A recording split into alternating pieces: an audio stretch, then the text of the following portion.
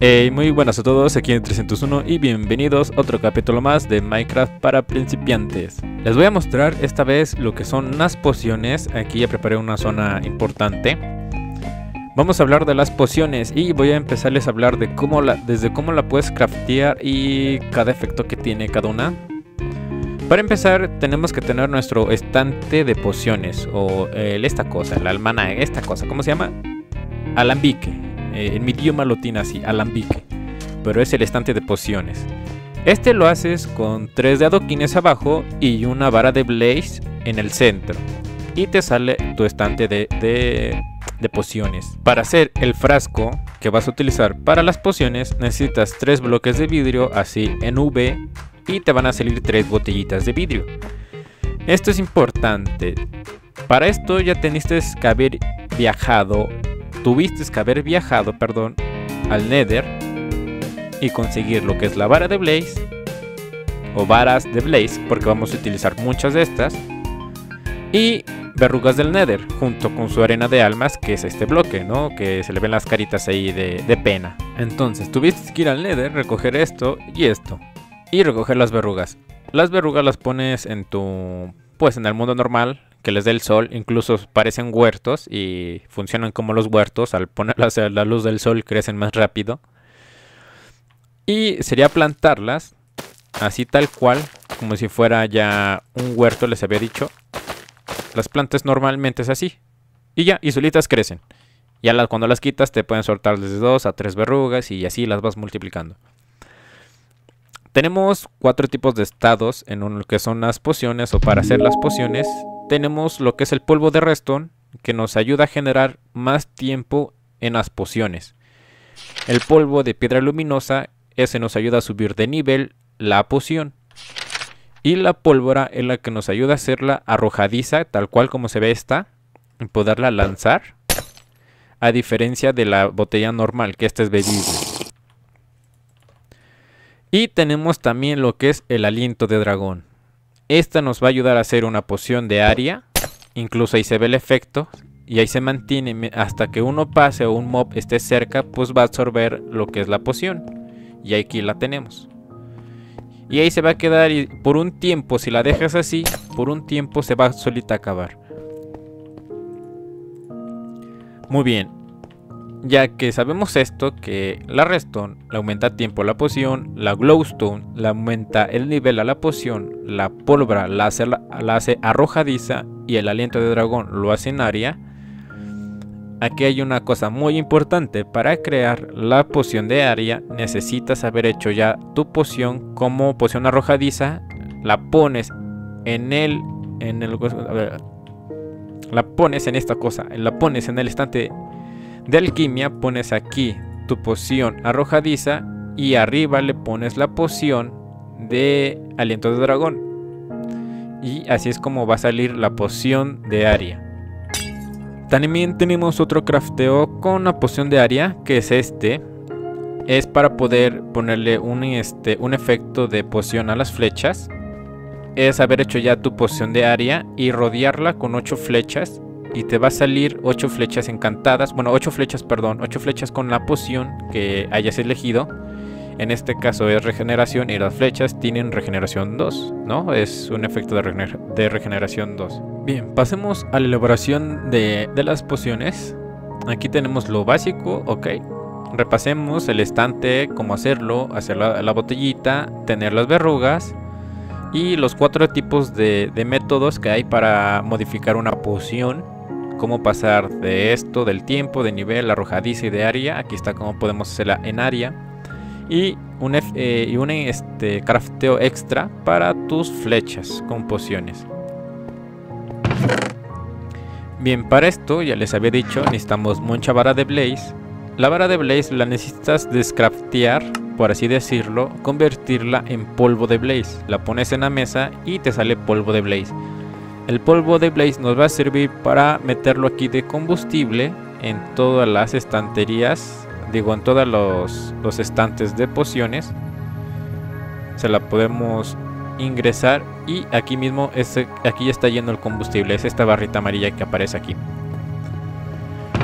Y tenemos todos estos ingredientes Algunos son creados por, los tienes que crear tú y algunos los consigues directamente de algunos mobs.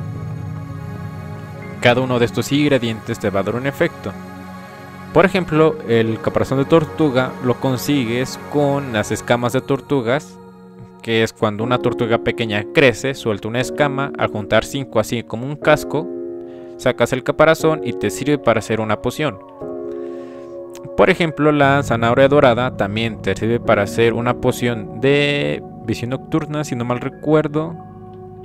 Y esta, pues, obviamente pones la zanahoria en medio y la rodeas de pepita de oro.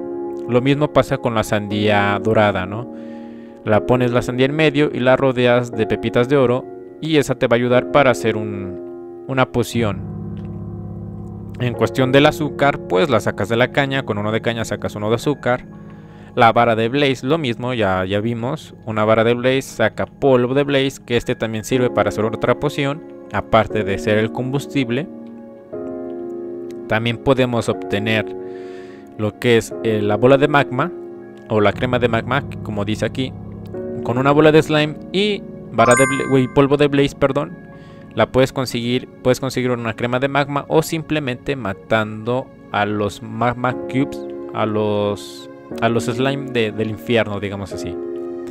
El ojo fermentado lo puedes conseguir con un ojo normal, uno de azúcar y un champiñón café. Estos los puedes conseguir de los mobs directamente. Estos son los que puedes craftear. Tienes que craftear para hacer una poción. Y estos también los puedes conseguir desde los mobs. Por ejemplo, tenemos lo que es el ojo de araña. Matando a las arañas te va a soltar el ojo. La crema de magma, ya les dije, matando los slime del infierno. Y la membrana de Phantom la consigues matando a los Phantoms que aparecen en la noche. Después de unos días que no duermes, pues te van a aparecer los Phantoms y si los matas te van a soltar la membrana.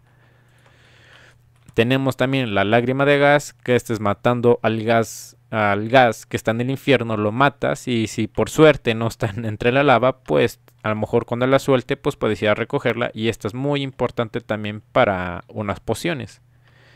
La pata de conejo, obviamente matando un conejo. Y el pez globo, ya sabemos, ¿no? Lo consigues a lo mejor matando en el agua o pescando. El ojo de araña te ayuda, el ojo de araña fermentado te ayuda en algunas pociones invertir su efecto incluso tenerlas, ¿no? Por ejemplo, el ojo de araña que, podemos utilizarlo para invertir algunas pociones, en la poción de velocidad y en la poción de salto, su efecto contrario al ponerle el ojo, de, el ojo fermentado, te va a salir lentitud. Cualquiera de las dos te va a sacar lentitud. En, en, en las pociones de veneno y de curación, al ponerle un ojo fermentado, su efecto contrario va a, ser, va a ser poción de daño. También tenemos lo que es la poción de visión nocturna. Esta poción, al ponerle el ojo fermentado, te sale pues la inversión que es invisibilidad. Para todo esto, ya les dije, para hacer una poción, a ver, es importante, ¿dónde están mis frascos? Ok, aquí están. Es importante rellenar, incluso puedes rellenar las botellitas con un bloque de agua, así tal cual. Algunos usan el caldero, pero pues en el caldero nada más, nada más puedes rellenar tres botellas. Pero es mejor así. Agarras un bloquecito de agua o con una cubeta y lo mueves aquí cerca de tus estantes de alquimia. Y llenas varias botellas. Al llenar las botellas, las puedes poner aquí, las tres. Para hacer una poción, obviamente es importante poner las tres botellas de agua sin efecto, tal cual dice aquí, poner tu verruga del nether y al momento que ya esté lista, esto ya esté listo, puedes agregarle alguno de estos ingredientes o de los ingredientes que aparezcan, bueno, que tengo aquí ya en el inventario. Le puedes agregar alguno de estos ingredientes, este no. Este sí. Ahí está. Alguno de estos ingredientes para que puedas hacer un efecto de poción en específico podemos meter este.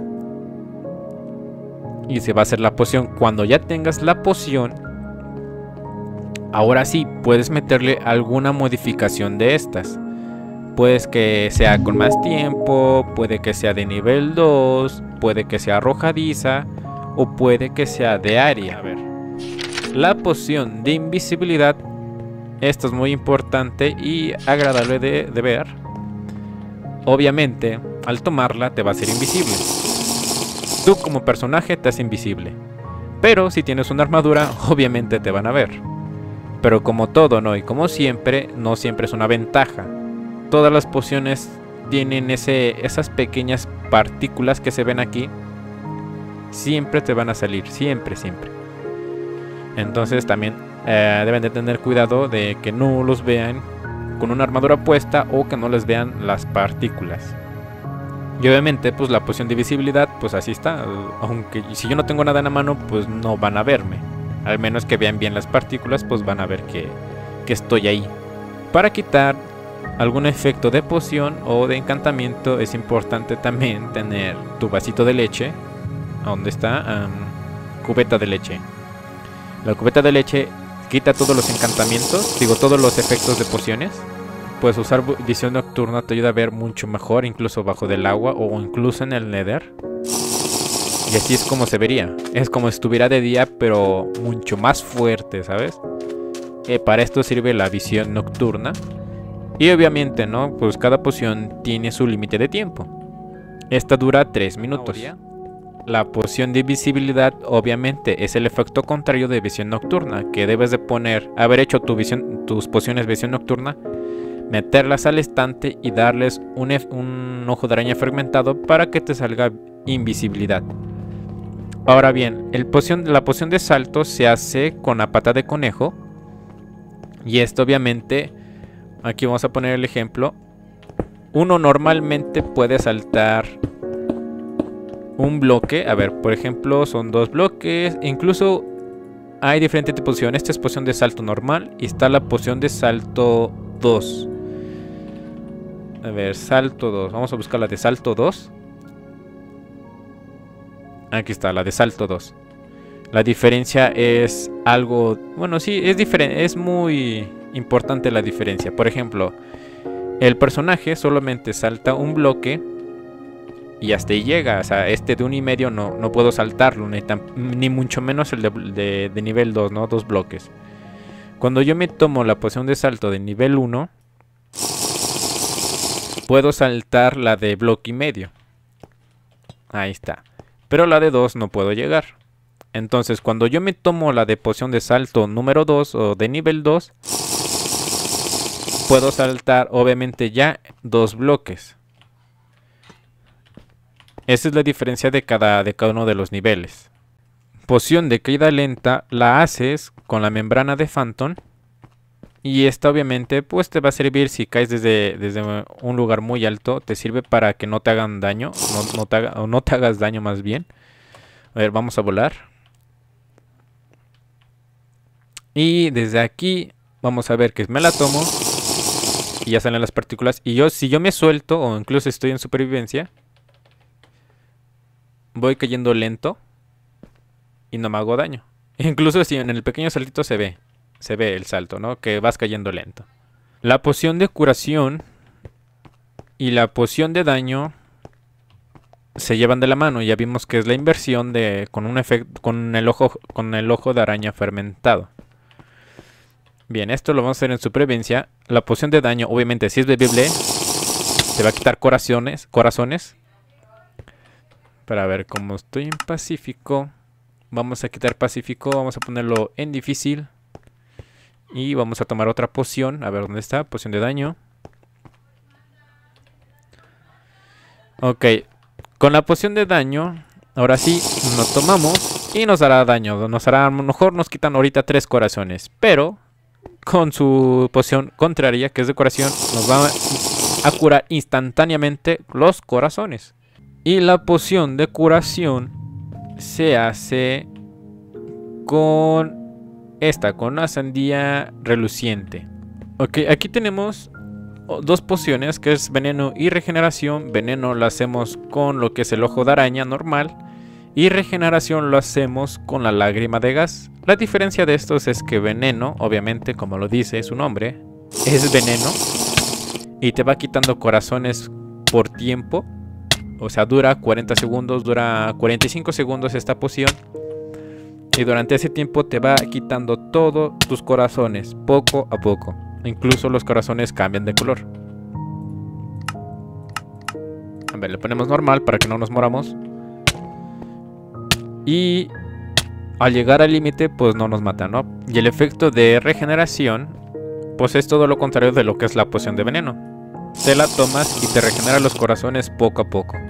Obviamente dura también un cierto tiempo y va con una cierta velocidad. Regeneración 2 te cura más rápido los corazones, a diferencia de regeneración 1.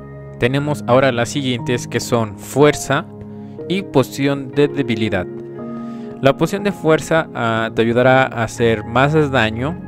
Si a lo mejor con tu espada super encantada haces 10 de daño. Si te tomas una de fuerza, posiblemente hagas 12 de daño con tu espada, ¿no? Obviamente la poción de debilidad hace todo lo contrario. Y pues aquí se ven las partículas de diferencia, ¿no? Las de fuerza son algo rojitas, un color vino. Y las de debilidad pues son como grisecitas, grisácea, grisáceo, ¿sabes? Y pues esa es la diferencia de, una de las dos, ¿no? Incluso aquí te dice, daño por golpe te da 3 puntos más. Y la de debilidad te hace que te quite 4 puntos de, de fuerza, ¿sabes? Las siguientes son las de poción de velocidad y la de poción de lentitud. Obviamente la de lentitud te hace ir demasiado lento. Y eso, bueno, este porque es nivel 1, pero cuando es nivel 2 obviamente te va, te vas a ir mucho más lento. Ahora, si nos quitamos ese efecto y nos tomamos la de rapidez, es todo lo contrario. Tomamos la de velocidad y vas un poquito más rápido, incluso corriendo, ¿no? Y esto que nada más es la de nivel 1. Cuando, cuando tomas la de nivel 2, puedes ir mucho más rápido. También deben de tener en cuenta que dependiendo para qué las quieran, pues obviamente le pueden meter la modificación que ya les había dicho antes. Ok, y ya por último tenemos lo que es la poción de respiración, que esta obviamente te ayuda a respirar más bajo el agua. Ahí ya se me están acabando las, las burbujitas. Si me la tomo, se detiene.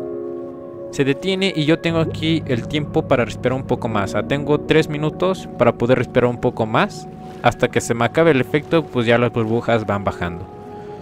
De momento, o sea, si yo vuelvo a salir lleno mis burbujas y bajo, mis burbujas se van a quedar otra vez llenas y hasta que se, hasta que se me acabe el efecto, pues ya comenzará a bajarse las burbujas de aire. La poción de maestro de tortuga te da estos efectos, te da lentitud 4 y una resistencia de nivel 3. Que esto, resistencia es el efecto de escudito, que bueno, que incluso es como, digamos, como el encantamiento de protección, pero con mayor estadísticas. Al momento de ocuparla, la puedes ocupar incluso para ir a matar al Warden, ya que su onda sonórica es un efecto de golpe directo. Entonces, al, entonces, al utilizar el efecto de Maestro de Tortuga, la resistencia evita que te haga tanto daño. Te la tomas y literalmente te hace ver así más, más corto el... Y bueno, te hace ver más pequeña tu pantalla y te hace ir más lento. Dura poco tiempo, obviamente, pero pues con... O le aumentas más tiempo con alguno de las modificaciones o la haces de segundo nivel. Y por último tenemos a lo que es la poción de resistencia al fuego. Obviamente, bueno, aquí lo vamos a comprobar. Ahí tengo lava. Recordemos que también las pociones encantadas, estas encantadas, estas, estas, estas manzanas también son, te dan efectos. Pero ya nomás era para regenerar la vida. Nos quitamos los efectos. Al momento de meternos, pues obviamente nos hace daño. Y ahí está, justo a tiempo. Y al momento de utilizar la poción, pues te deja de hacer daño al fuego. Pero sí, eso sí, tienes, todavía sigues viendo las llamas. Al menos que te metas en agua, pues ya se te quita. Pero para eso sirve el efecto de resistencia contra el fuego. Esto es muy importante cuando vas al Nether. Cuando vas a explorar o vas a, o vas este, a minar tu Netherite. ya que a veces te sale la lava por X o Y lugar y ya ni sabes qué hacer. Pues es importante llevarse una poción de, de resistencia contra el fuego. haberles ya dicho y explicado todas las pociones que hay y sus efectos. Espero que les haya ayudado, les haya entretenido. Si tienen alguna duda, déjenos comentarios. Aquí está la tabla de, de los ingredientes, de algunos ingredientes. Los que puedes craftear y los que consigues con los mobs, que son los que tenemos ahí del lado izquierdo o derecho en tu pantalla. Esos son los que consigues directamente de los mobs. Y los que están así más grandes, pues son los que tienes que craftear. Y ya bueno, ya vimos, ¿no? También las pociones que tienes que, que puedes invertir con el ojo de araña fermentado. Qué pociones son y a qué poción te las convierte. Muy bien, espero que les haya gustado, les haya entretenido y nos vemos en el siguiente capítulo y el último para Minecraft para principiantes. Entonces, adiós. Adiós.